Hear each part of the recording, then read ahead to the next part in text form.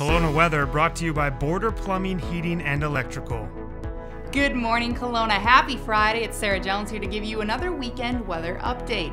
Geez Louise, it has been slippery out there. Who needs to hit up Stuart Park when the roads in Kelowna yesterday quite literally were turned into skating rinks? But alas, the weather turns on a dime here in the central Okanagan, and Environment Canada is predicting a mainly sunny sky today with a low of minus 8.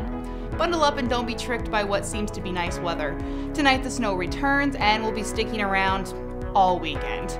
Saturday will stay around minus 4 throughout the entire day and into the evening. Sunday, same kind of story, a 70% chance of flurries with a warm high of 0 degrees. And we'll take it because we're expected to stay in the negatives heading into next week and Sunday night will be getting down to minus 5. So overall, it's a chilly weekend ahead and the same can be said for our ski report. This morning, these Cliff and Gem chairs start spinning up at Big White and people can anticipate a high of minus 10 with overcast flurries.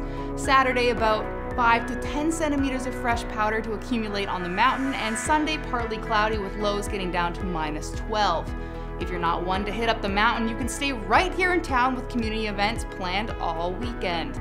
On Saturday, get your giggles in at the Stand Up for Animals show happening at Dakota's Comedy Lounge with proceeds from all tickets going to support the Okanagan Humane Society.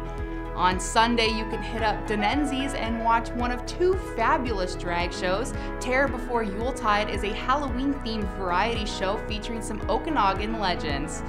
Alrighty, Kelowna, go enjoy your snow-filled weekend. For more information on events, breaking news, and weather, check out Kelowna Now's website or follow the socials on Facebook, Instagram, TikTok, and Twitter. Stay warm and stay safe out there. See ya.